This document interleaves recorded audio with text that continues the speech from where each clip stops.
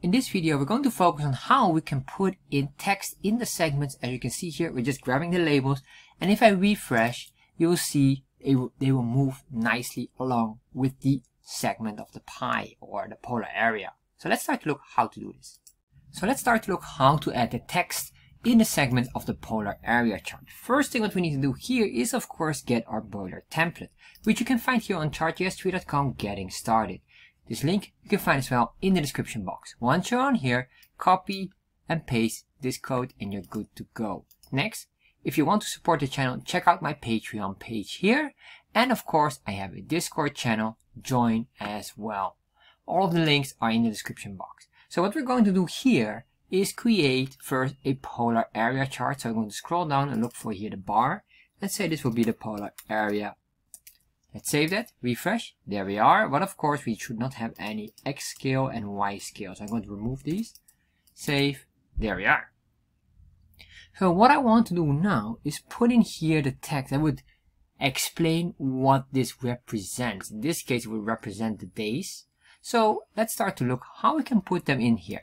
So to do this, what I'm going to do here is I will say a comma, I'm going to make a custom plugin for this, say plugins, and we can say here segment text or arc text. It could be one of these pie segments or polar area segments. I'll just give it arc text.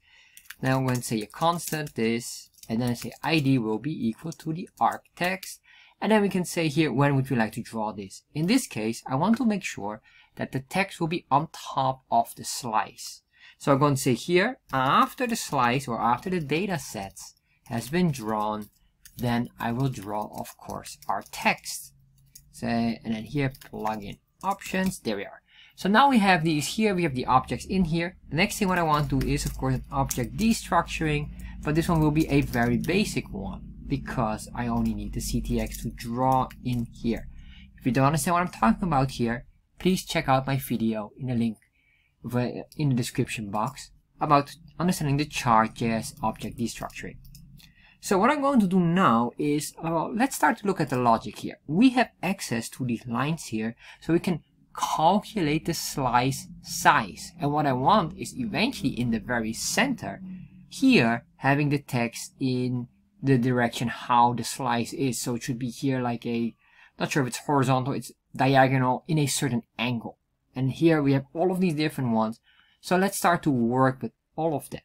So the first thing what we need to do here is to understand we're working with angles. So I'm going to say a constant angle equals math dot pi divided by 180. And the reason why is we're going to start to work with rotation here. Since we're working with rotation, 360, but 1 pi equals a half circle, so 1 pi is 180 degrees, and I want the single degree. So that's very important. The next thing what I need to know is I need to know this center point here. And what I'm going to do is I'm going to translate this center point to zero. So don't worry, it sounds all com complicated, but we can get the center point immediately by doing the following. I'm going to say a console log, and this is a built-in chart.js functionality. We say here chart dot get data sets, oh, sorry, data set meta index zero, and then we can say here data, you can also say index 0 and then x. By doing this, if I refresh, I get here now the exact coordinate of the center, and that is 350. So what I can do as well for the y value is just say here y, and then you will see here, this will be 366 in this case. So these numbers are very important later on. So let's say your constant x, or x center, whatever you want to call it, but I'll just say here constant, constant y and x, and we'll say that will be equal to these numbers. So once I did this, I need to do here now a ctx.save. I want to save these items, and then what I want to do is, I guess we can grab this and just let me show you what more is in here. Because I was talking about the angle of the slice. We have this information already stored in here. So let me just show you. So if I save, refresh, we get the arc element. And the arc element is basically the slice arc or the segment of the slice. So they call that in Chart.js an arc. So what we need to know is a few things here. You can see here x and y, they are always consistent as, since this is the center how it calculates. However, it has a starting angle and then it calculates this in radians. And then we have an end angle, it will calculate this in radians or somehow, somewhere in the math pi. 2 pi equals a full circle. So somewhere there, it probably calculates it. Don't ask me exactly how, I have not dived deep into it, but not important.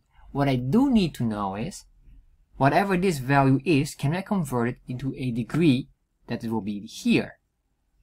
And then we need to have the ending, the degree here, so we can figure out what is the center here. So let's start to work with some of the basics. Now we have this saving here, and I guess that one, well, we can already grab that one here. So what I'm going to do now is just very simple. Say constant, I'm going to say here the starting angle. And the starting angle will be equal to this dot start angle. Then what I want to do is another one for the end angle, and you can imagine already what we're going to do here. I'm going to say end angle. And then here as well, end angle. Save that. So now we have these, but let's start to work with the translation. Because the translation is very, very important, and so far I have not shown it. So what I'm going to do here is understanding why we have this. Because what I want to do is I want to make this the center, so our rotation is like that. Right now, the center or the position 0, 0 is this corner here. And let me just show you. So we're going to draw a text here. So I'll say here's the text, and I'm going to say here uh, ctx dot font style. Let's put that in there already. I'm going to say here 12 pixels, and then sans serif as font family. And maybe we can make this bold. Up to you, of course, but you can do it like that. Now we can say ctx dot fill style for the color. What is the color? I'll just make this gray. And then finally ctx dot, uh, we're going to say here fill text to put in the text and the text will have whatever the text is. I'll just make this text as a string value.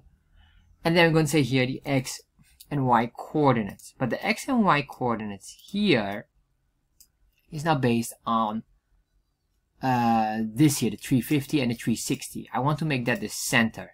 Because if I do here right now, let me just show you, 0, 0, save that, refresh, you can see the text will go here. What I want to do is I want that to start here because then rotation will be very easy or else I'll do rotation and it will rotate from this corner here. I don't want that. So to solve this issue, we're going to use translate in here. So what I can do here, you can just do it here below. I'm going to say ctx.translate and I'm going to say basically translate would mean from now on this specific coordinate will be the center or will be the zero value. For x, I will make it x here because this is the 350 and this one was 360 or 366. So I'm going to say x and y. And if I do this now, this becomes the zero point. It will recognize now we have it in the center. And of course, because we have rotation or translate in here with many actions, I need to do something as well. I say ctx.restore to undo afterwards. Save that refresh, there we are. And as you can see here now, it is exactly in the center. This is very easy because now I can rotate within this specific center. Alright, so now we have the most complicated part covered. Let's start to work on putting it in. So what I want to do now is two things. I need to know here, this angle here needs to be understood. And let me just show you with the rotation. Uh, oh well, we can just start to calculate we can do it like this. I'll just say here ctx ctx.rotate. Let's do that first. And in the rotate, I'm going to put in here a value. So let's say here, I'm going to say 90 degrees multiply by the angle we have calculated here. Save that, refresh. And as you can see here, this is 90, etc., etc. So what I need to do now is get this starting, uh, sorry, not that one, the starting angle here, whatever that is, convert it into a degree, and then I can put it in here. Because if I would put it like this, this will not work. You can see here, it I'm not sure even if it calculates anything, it does something, but let's see with the end angle, we can confirm that as well. We have a different value. Not really. So we have to do something here. The value is probably too small to, to be noticeable. Like a 1 degree or 0.5 degree that doesn't change at all. So what I want to do now is uh, let's start to calculate this by doing basically that.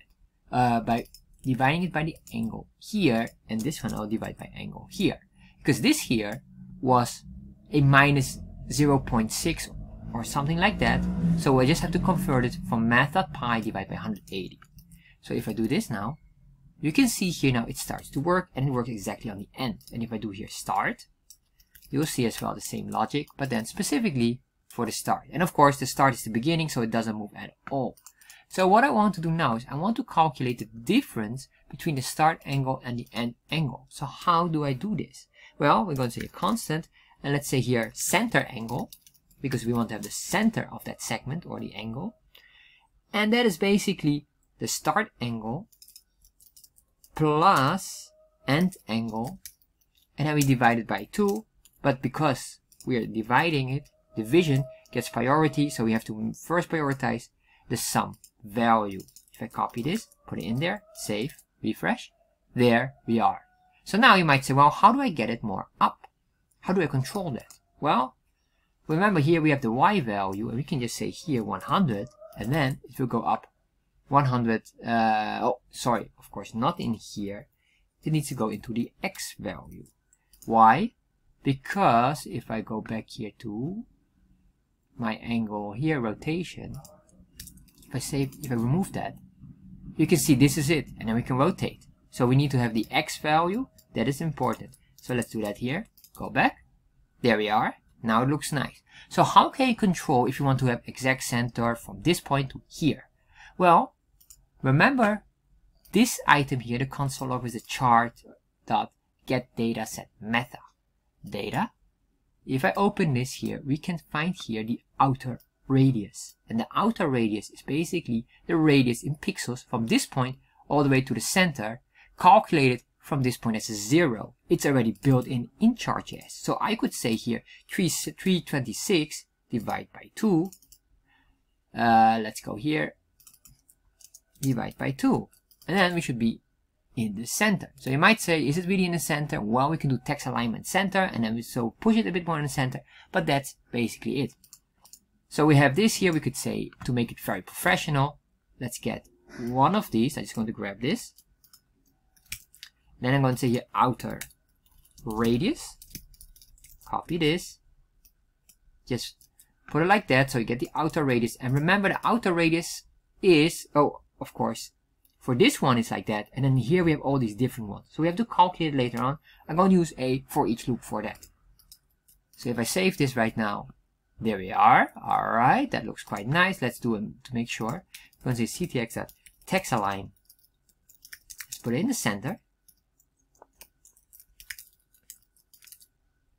There we are. Alright, so the final thing now is how do we loop through this, making sure that every one of those are nicely in the center.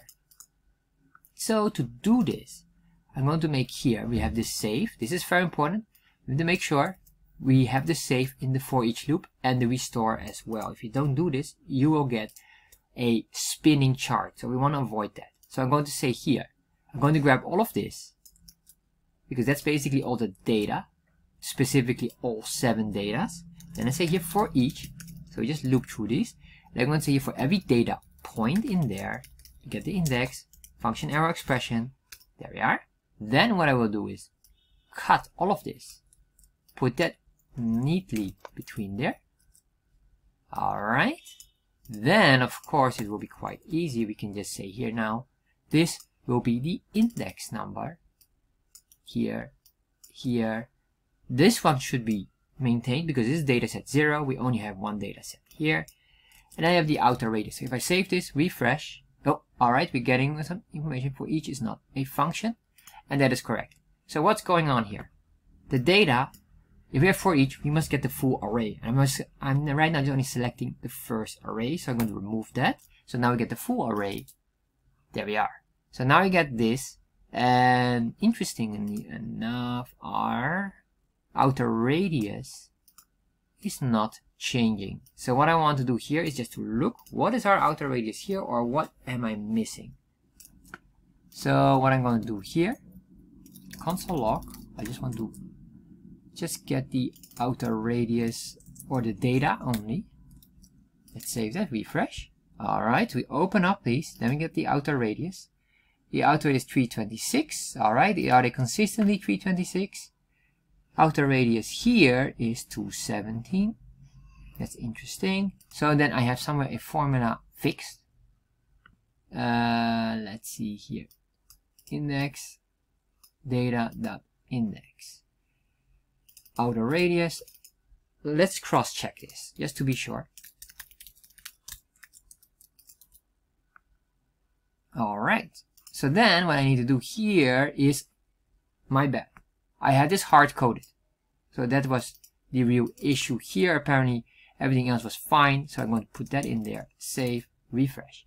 And there we are. So now we have them here and you can control this. So let's put in just in case let's remove all of this the data that I want. I want to grab here the labels.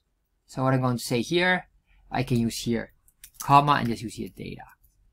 And then, because this object destructuring, I can just say here, this hard-coded text will be data dot data sets index zero dot, uh, oh sorry, not even like that.